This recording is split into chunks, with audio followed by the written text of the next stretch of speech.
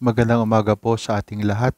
Sa ating pong pagninilay ngayon tungkol sa sakramento ng kumpil ay ating po munang tatalakayin ang papel nito o di kaya ay gampanin nito sa buhay natin. Bakit tayo kinukumpilan?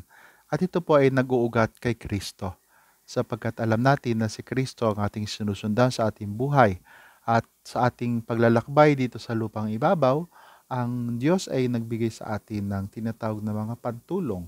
At si Jesus ay dahil dito, siya ang ating hantungan at siya din ang nag-aakay sa atin.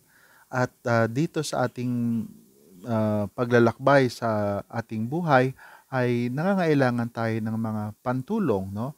At uh, katulad ng uh, maihahambing natin sa paglago ng tao, na kinakailangan niya kalimitan ng mga bitamina o di kaya ay ng lakas ng katawan, no?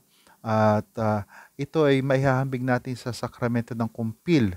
Kung kaya ang salitang uh, uh, pagpapalakas ng katawan ay mailalapat din natin sa pagpapalakas ng espiritu o ng diwa natin o ng ating kaluluwa na napakahang, napakahalaga na sa ating buhay ay makita din natin yung ating kaluluwa o ang buhay ng kaluluwa o buhay natin bilang mga Kristiyano na lumalago na hindi lang po basta tayo nabinyagan at basta na, no?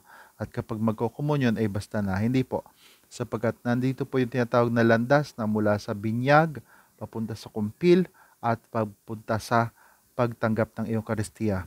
Bagamat kalimitan, ang nahuuna po sa ngayon ay yung tinatawag nating binyag at pagkatapos ay Eucharistia at pagkatapos ay kumpil.